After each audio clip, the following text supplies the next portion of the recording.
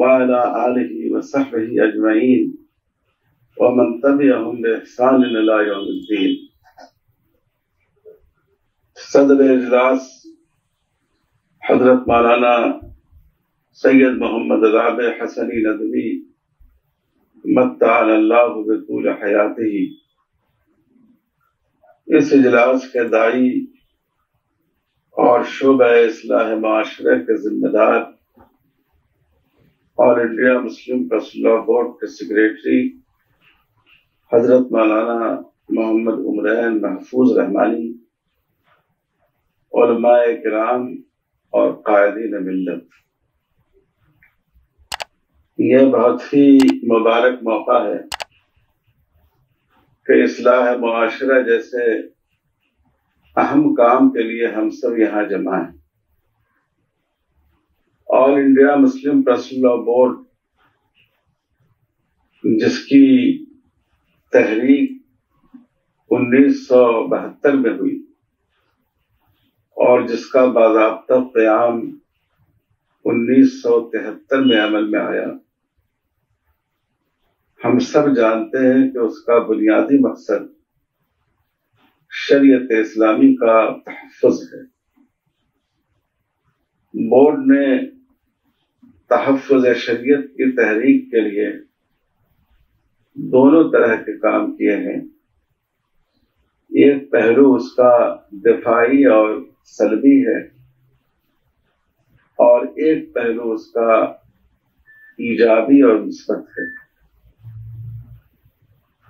दिफाई काम यह है कि पार्लियामेंट में कोई ऐसा कानून न बने जो शरीयत में मुदाखलत पर मबनी है।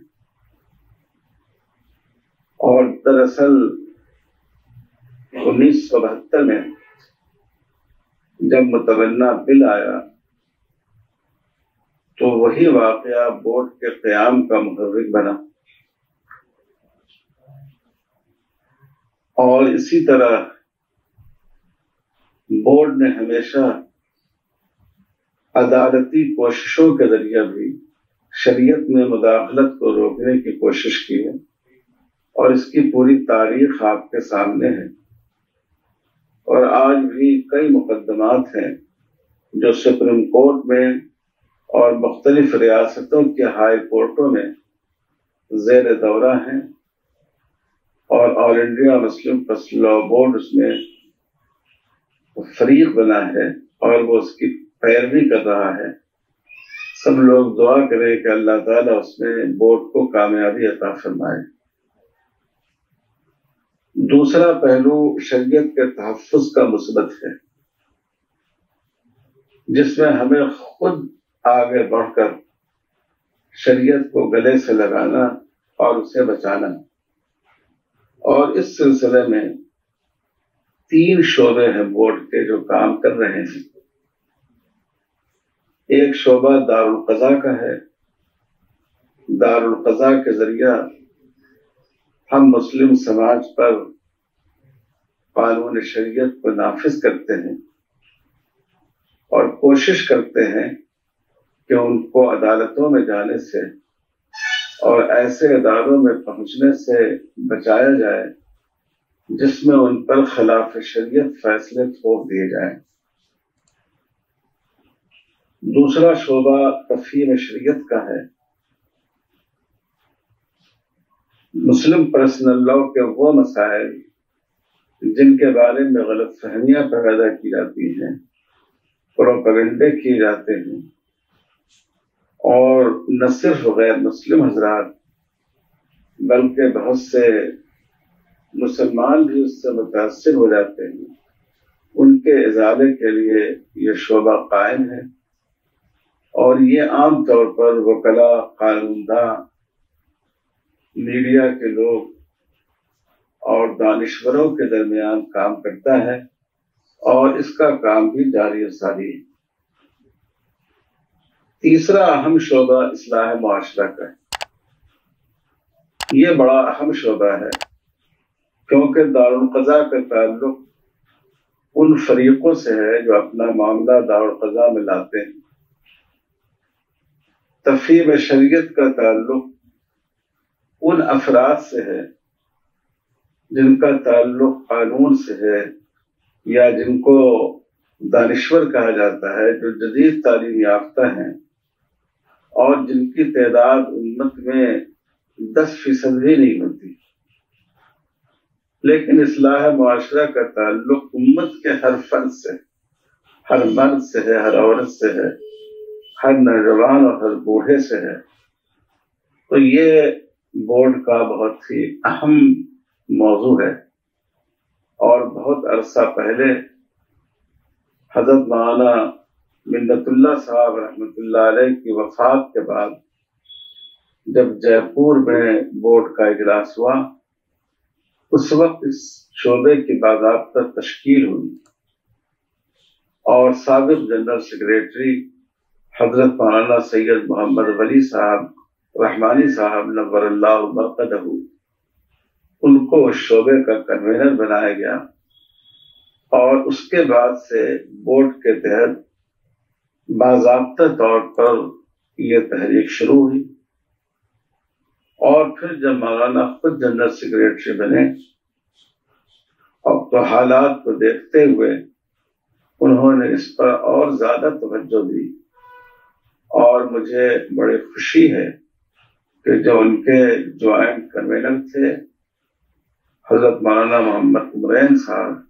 वो इस तहरीक को, पूरी कुत के साथ और हमत अमली के साथ उसको आगे बढ़ा रहे हैं और उसी सिलसिले में आज ये ऑनलाइन प्रोग्राम हो रहा है। इसलाह माशरे के शोबे की अहमियत ही की वजह से और ये देखते हुए कि इसका ताल्लुक खातन से भी बहुत ज़्यादा है। बोर्ड के शोबे खातन का क्याम में आया, ताकि खातन के दरमियान भी मुस्तकिल बुनियादों पर, मुसलसल बुनियादों पर खातन के ज़रिए काम हो। हमारी दीनी बहन डॉक्टर असमा जोहरा इस वक्त इसकी जिम्मेदार है। तो ये इस सारी गुफ्तगु का मकसद ये है कि इसलाह मुआशरा का शोबा बोर्ड का अहम तरीन शोबा है। इसमें न हम हुकूमत के मोहताज हैं, न हम इसमें अदालत के मोहताज हैं। न हमें इस बात की ज़रूरत है कि लोग अपना मामला हमारे पास लाए। हम अपनी कोशिशों के ज़रिए और अपने मुआशरा को बदल कर लोगों में शरीयत की अहमियत का एहसास पैदा कर सकते हैं और जब हम खुद रजाकाराना तौर पर अपनी शरीयत पर अमल करेंगे तो न हमें हुकूमत, कोई इसमें रुकावट बन सकती है, न अदालत की तरफ़ से हम पर कोई पाबंदी लग सकती है। इसलिए शरीयत की हिफाजत का मेरी निगाह में ये सबसे ज़्यादा बुनियादी काम है। लेकिन जितना बुनियादी काम है, उतना ही ज़्यादा मुश्किल काम है क्योंकि अल्लाह का शुक्र है कि इस मुल्क में मुसलमानों की आबादी खुद गवर्नमेंट के तस्लीम शुदा आदाद शुमार के मुताबिक चौदह से पंद्रह करोड़ के दरमियान। और आम तस्वूर यह है कि ये मोहताज अंदाजे के मुताबिक भी इस मुल्क में 20 करोड़ मुसलमान आबाद आबादी के समुंदर में एक एक शख्स तक इस्लाम माशरे की आवाज़ पहुंचाना यह आसान नहीं तो इसलिए ये मुश्किल काम भी है, बहुत ज़्यादा ज़रूरी भी है, बहुत अहम काम है। और ये ऐसा काम है कि जो हमको तहफ़ शरीयत की कोशिशों के मामले वक्त मुख्तफी बना सकता है। और आपने भी सुना इसलाह माशरे के फकदान की वजह से पहले तो हम लोग ये समझते थे कि इससे समाज में गुनाह का दरवाज़ा खुलता है। लेकिन अब के हालात ये बताते हैं कि सिर्फ़ गुनाह का नहीं, इर्तदाद का दरवाज़ा भी खुलता है। माशरे की असलाह न होने की वजह से कसरत से ऐसे वाकयात पेश आ रहे हैं कि मुसलमान लड़कियाँ गैर मुस्लिमों के साथ ब्याही जा रही हैं। और जब वो मुस्लिम समाज से निकलकर गैर मुस्लिम समाज में अपना कदम रखती हैं तो ज़ाहिर है कि वो अपने ईमान को भी महफूज नहीं रख पाती। इसलिए ये जद्दोजहद हमारी समाजी ज़िंदगी का भी तहफ़ है। और अगर आप देखें और गौर करें तो ये तहफ़ है बिलवास्ता हमारे ईमान का भी। इसमें हमें बहुत ज़्यादा जद्दोजहद करनी चाहिए। और सबसे अहम बात यह है कि मुसलमानों के जहन में यह बात बैठाई जाए कि निकाह सिर्फ़ एक समाजी मसला नहीं है, एक मुआशरती मुआवजा नहीं है, बल्कि ये एक इबादत है। और इस्लाम ने इसके साथ, निकाह के साथ वही मामला अख्तियार किया, जो मामला किसी इबादत के साथ होता है। जैसे जुमा से पहले खुतबा होता है ईदैन के बाद खुतबा होता है, हज के मौके से खुतबा दिए जाते हैं, निकाह के मौके से भी काजी खुतबा पढ़ता है, जिसको हदीस में खुतबत तशाकुद या खुतबतुल हाजत से ताबीर किया गया है। जैसे नमाज़ मस्जिद में अदा की जाती है एतकाफ मस्जिद ही में हो सकता है। इसी तरह रसूलुल्लाह सल्लल्लाहु अलैहि वसल्लम ने मस्जिद में मजलिस निकाह रखने की तरगीब दी तो इसलिए इसमें जो रंग इबादतों का होता है, वो रंग पाया जाता है।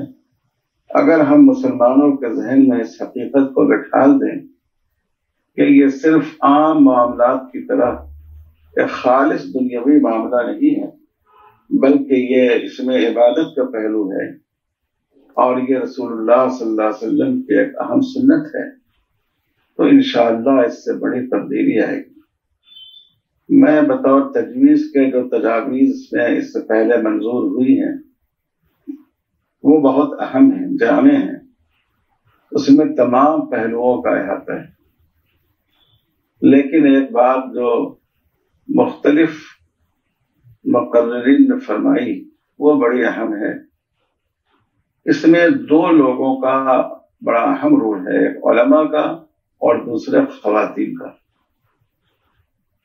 अगर उलमा ये तय कर लें कि हम ऐसी मजलिसों में शिरकत नहीं करेंगे, चाहे वो कितना बड़ा आदमी हो, कितना करीबी आदमी हो, कि जो फजूल खर्ची से काम लेता हो या शरीयत के अहकाम से हट कर निकाह की तकरीब को अंजाम देता हो तो इसका बहुत बड़ा असर पड़ेगा।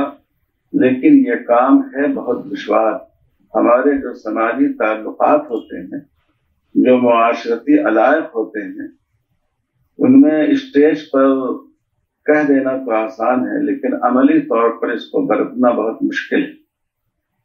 तो इसकी कोशिश की जाए जिस शहर में इस्लाम माशरा का जलसा हो, वहाँ के उलमा को मशाइ को, सज्जादगान को, अहम शख्सियतों को जोड़कर उनसे एक अहद लिया जाए और इस अहद को कंपोज कराकर और जिरोस कराकर पूरे शहर में फैला दिया जाए।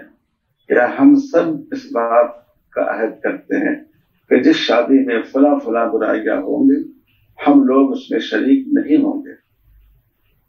और इसलिए मुसलमानों से अपील है कि वो इन बुराइयों से अपने आप को बाज रखें।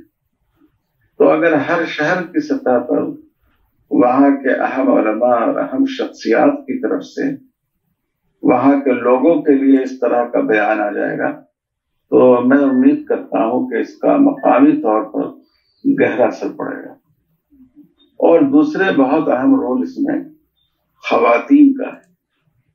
हालाँकि माशरे की बुराई की वजह से औरतों ही पर ज़्यादा जुल्म होता है, लेकिन यह अजीब बात है कि अक्सर इस जुल्म का सबब भी औरतें बनती हैं।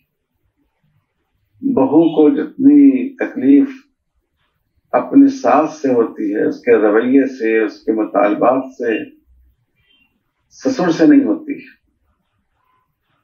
और जितनी तकलीफ़ उसको अपनी बहू से होती है, उतनी अपने दामाद से नहीं होती।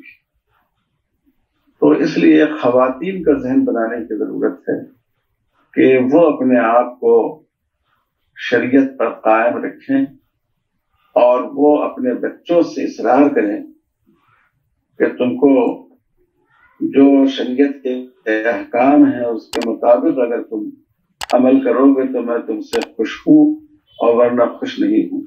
एक माँ अगर इस पर बजिद हो जाए, एक बेटी अगर इस पर बजिद हो जाए, एक बीवी अगर इस पर बजिद हो जाए तो जो घर के मर्द हैं, वो उसको कबूल करने पर मजबूर होंगे। बहरहाल, मैं इस मौके पर बहुत शुक्रगुजार भी हूँ आप सभी हजरात का बोर्ड के खादिम होने की हैसियत से। और मौलाना उमरैन साहब का भी कि उन्होंने इन हालात में जबकि ऑफलाइन प्रोग्राम का रखना दुशवार है, ये बड़ी अच्छी पहल फरमाई है। अल्लाह ताला हम सब लोगों को मिलजुल कर इस मुहिम को आगे बढ़ाने और इसको कामयाब करने की तोफ़ी अता फरमाए। अला खैर खल्क़ि मोहम्मद व अला आलिहि